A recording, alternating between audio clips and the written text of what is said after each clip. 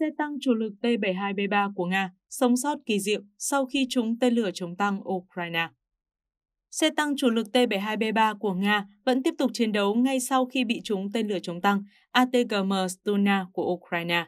Đây là loại tên lửa chống tăng cực kỳ nguy hiểm, đã từng bắn cháy xe tăng T-90 của Nga.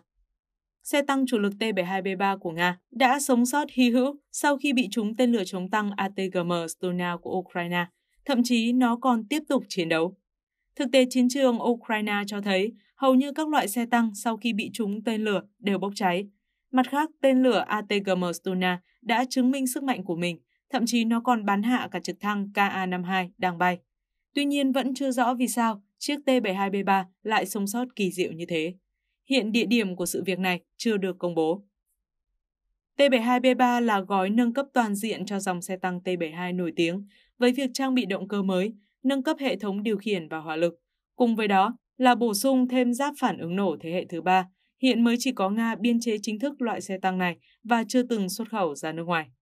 T-72B3 có chiều dài 9,53 m, chiều cao 2,20 m, chiều rộng 3,46 m, động cơ V92S2F, 45 tấn, công suất 1.130 mã lực, vận tốc tối đa 75 km/h, tầm hoạt động 500 km.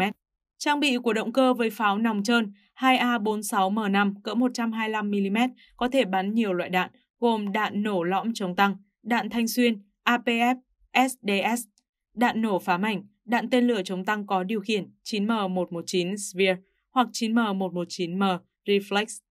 Súng máy phòng không NSVT 12,7mm với cơ số đạn 300 viên, 9M119M Reflex. Hệ thống quan sát Sonar U Súng máy đồng trục 7,62mm, súng máy có tốc độ bắn cao với cơ số đạn mang theo 2.000 viên, hệ thống kiểm soát hỏa lực 1A40 4M.